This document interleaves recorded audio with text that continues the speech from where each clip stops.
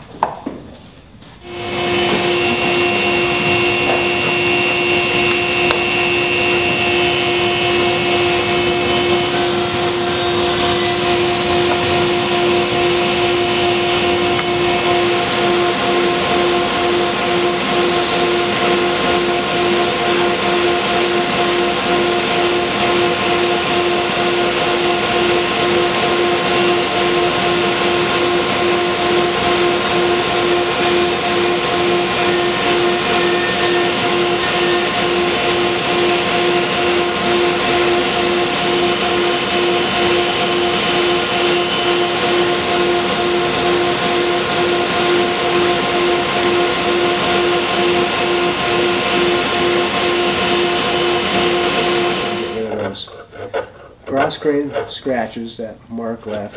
And now I've got a flat, so I'll get rid of the corner of that flat and work my way down just with a chisel. So one method is to take a cabinet maker's rasp and working downhill. I want to work down towards the long fibers. So these are the longer fibers, these are the short fibers. Just by virtue of the cut work downhill. And notice I'm cutting this way, I'm not cutting this way as well. I can make a cleanup pass. Of course, the problem with this cleanup pass is that it's pretty coarse. This is the tool I prefer though, this is a Spokeshave. Um, and essentially it's a bench plane. So it's set up at a 45 degree angle. I'm always at an angle with my Spokeshave, so I'm never straight across. What this does, this surface is about three quarters of an inch wide. If I rotate it, now it's almost twice as wide, twice as long. And that allows me to just hit the high spots on this cut.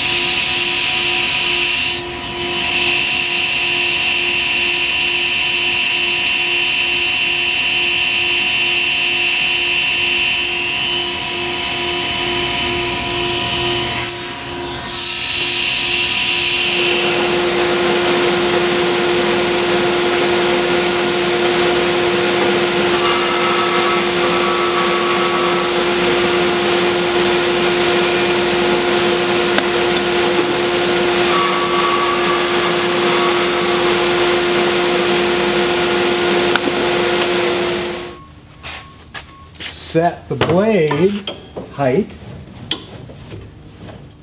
to just under the shoulder height. I'm going for a snug fit, so it, it's snuggish.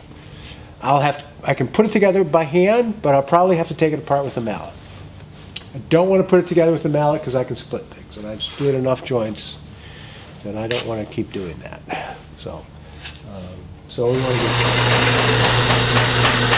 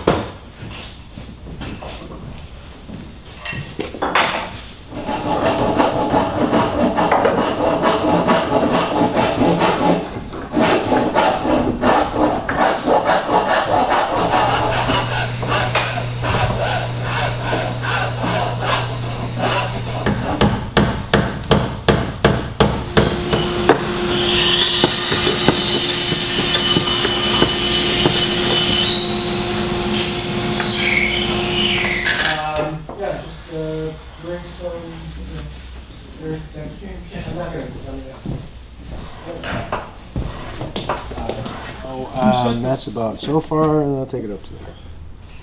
Cut it in Cut it in half half. and half. So, it comes to you as a two-pound cut. Two pounds of shellac flakes, one pound, or one gallon of alcohol.